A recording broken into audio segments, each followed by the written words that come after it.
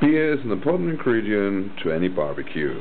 Some people buy special beer openers or even spatulas with beer openers at the end.